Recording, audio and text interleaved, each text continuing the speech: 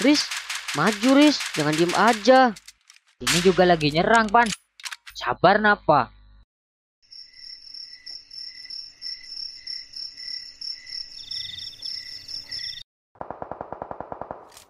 Wah, sibuk mabar nih.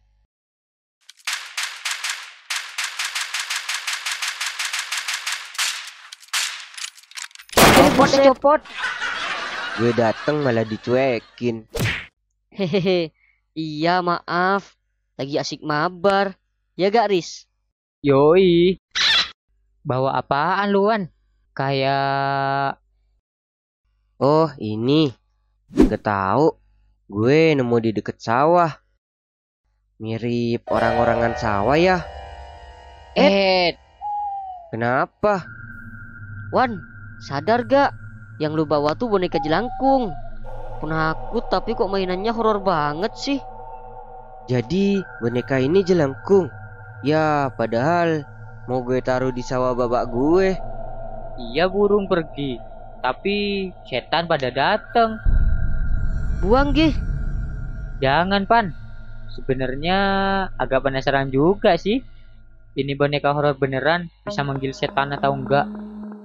Hmm, jadi Gimana kalau kita mainan boneka jelangkung? Boleh.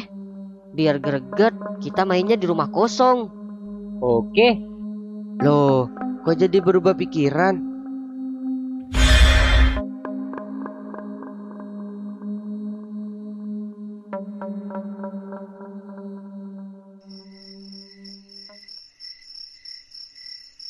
buruan, Wan. Gue takut. Nyesel bawa boneka sawah ini ke kalian. Kalau lu takut, justru lu yang diincer hantu. Ogah, Makanya jangan takut. Jalan jalan sat, di sini ada pesta. ada pesta, kecil-kecilan. pesta kecil-kecilan. jalan sat, jalan sat, jalan sat, dijemput, datang tak dijemput, pulang tak diantar. Guys, bonekanya gerak sendiri. Kayaknya ada arwah yang masuk ke dalam. bukan pan. Hehehe, gue takut banget. Jadi gemeteran.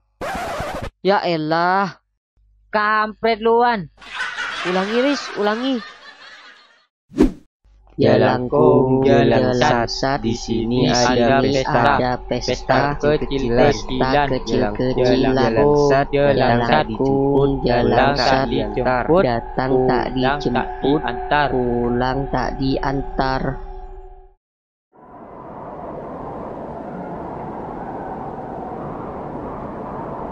Pan, beneran datang pan setannya. Anginnya tiba-tiba pergi. Wah, Ada perlu apa kalian manggil-manggil? Hmm, kita cuma main-main kok Mbak Kunti. Main-main? Kenapa nggak diseriusin? Kali aja jodoh. Hi, amit-amit. Salah satu dari kalian harus jadi tumbal karena sudah memanggil para setan. Gawat, Riz. Kita kudu cepet-cepet kabur. Iya, Pan. Satu, dua, tiga, kabur.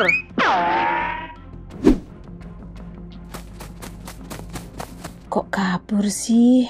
Maksudnya tumbal kan biar dia mau jadi jodoh aku. Ih, nggak jadi kawin deh. Sebel, sebel, sebel.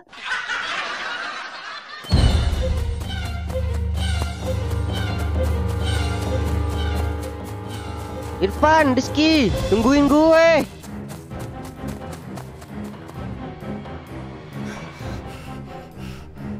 Mimpi apa dah semalam sampai lihat kuntilanak?